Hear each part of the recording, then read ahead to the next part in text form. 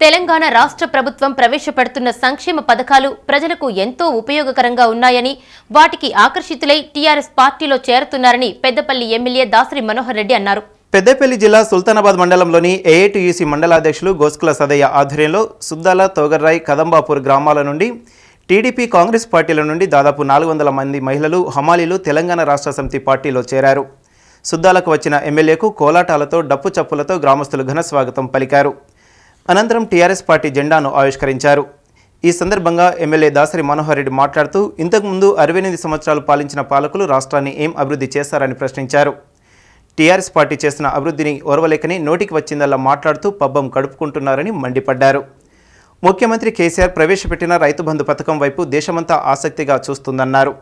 ఈ కార్యక్రమంలో single window chairman Srigiri Srinivas మాజీ ఎంపీపీ పాల రామారావు వివిధ గ్రామాల సర్పంచులు గ్రామస్తులు తెరాస నాయకులు పాల్గొన్నారు. మద్దికుంట నుంచి మంచరామి గ్రామాల నుంచి నారాయణపూర్ నుంచి కూడా అమాలి సోదరులందరూ టీఆర్ఎస్ పార్టీలో చేరడం జరిగింది.